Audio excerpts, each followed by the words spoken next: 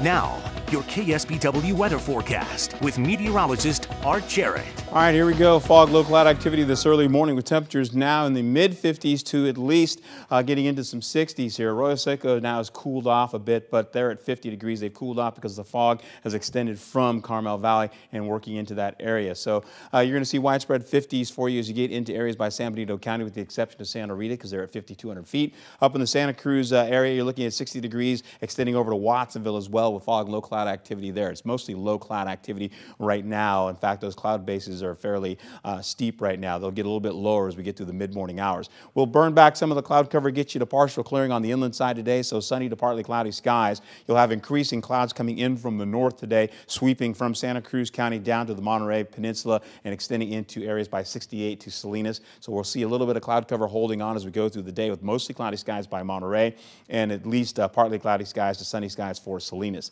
We have uh, this ridge of high pressure is uh, really collapsing and moving eastward with a, a low, uh, low level trough here scooting in and pushing all of that warmer air out of the area for today. And then tomorrow we'll try to start seeing uh, maybe a little change up to a couple of degrees of warmth for you possibly, but the Central Valley will cool down. We'll begin to warm up as we get closer to Friday and into your weekend, taking temperatures just back up to above seasonal averages by the time we finish out by Sunday, possibly into Monday. You'll see temperatures in the Central Valley all the way up to Sac Valley in those lower 80s, below seasonal average temperatures for you there, but we will see, again, fog and low cloud activity lingering by the bay. Mist and drizzle is a part of that as we go through the mid-morning hours, and then you'll see it kind of wane as we go into the afternoon and then come back again in the evening hours.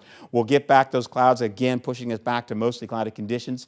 As we go through the day, look for uh, widespread 60s below seasonal averages. Yeah, a bit cooler today on the bay and breezy from time to time, but there is no small craft advisory. Mountains and valleys, widespread 70s for you for uh, today. You'll get into the 60s, 70s, and 80s up to the north. You'll see 70, uh, pretty much the same in the Bay Area, all the way down to the South Bay and into the Santa Cruz County area. 76 for uh, Gilroy, 69 in Hollister. The Salinas Valley, all below seasonal average temperatures there. Upper 60s to the mid 70s. We'll hold on to widespread 60s by the Bay today. Your KSBW eight-day forecast will take you right into cooler conditions as we go right through Thursday, above seasonal averages by Sunday again, and then we go right into the same for the inland areas with 70s and then 80s on the way with 90s for your weekend.